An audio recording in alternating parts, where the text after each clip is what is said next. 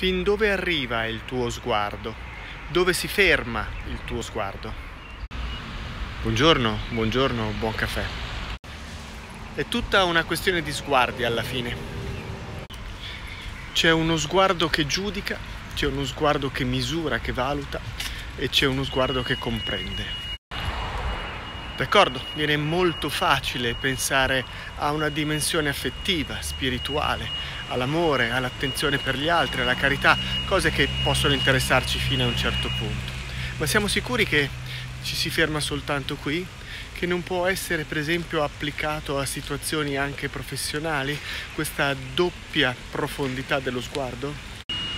Perché ci può sempre fermare sullo sporco, sull'inutilità, sulla spazzatura, che rimane come un fischio in sottofondo.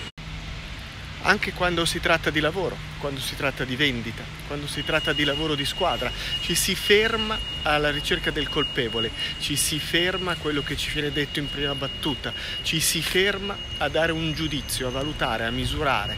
Posso vendergli questo, posso fare questo, è stato lui, è stato quell'altro.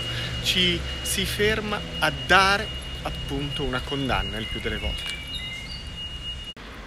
E lo sguardo che comprende, che non vuol dire che apprezza, che non vuol dire che approva, che non vuol dire che giustifica, vuol dire che comprende, sa andare oltre, sa cercare le cause, sa cercare di leggere tra le righe, sa cercare di suscitare le emozioni, leggere le emozioni, sa comunque salvare la persona anche nelle condizioni peggiori.